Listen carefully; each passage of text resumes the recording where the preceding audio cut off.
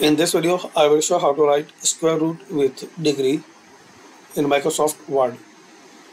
So press Alt plus equal sign on keyboard. Now in a radical, uh, select this one, square root with a degree. Thanks for watching.